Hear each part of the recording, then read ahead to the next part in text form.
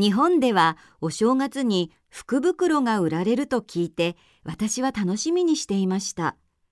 5000円の福袋だったら5000円以上の品物が入っていてとてもお得です。今年のお正月、私は以前雑誌で見たブランドの服の福袋を買いに行きました。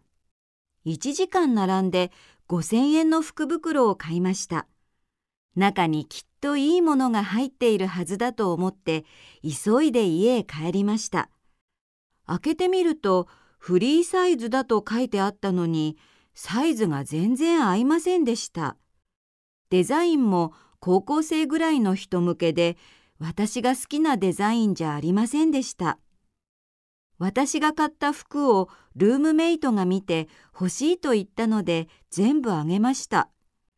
日本人の友達にこの話をしたら、福袋を買った後で他の人と中身を交換する人たちもいると言っていました。来年は私もやってみようと思います。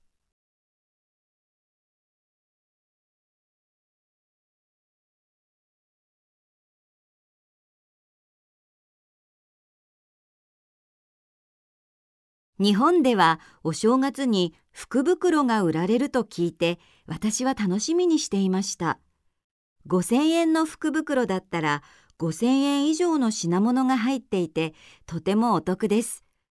今年のお正月、私は以前雑誌で見たブランドの服の福袋を買いに行きました。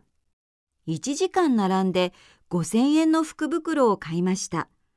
中にきっといいものが入っているはずだと思って急いで家へ帰りました。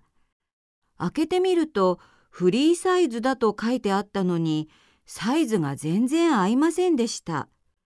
デザインも高校生ぐらいの人向けで私が好きなデザインじゃありませんでした。私が買った服をルームメイトが見て欲しいと言ったので全部あげました。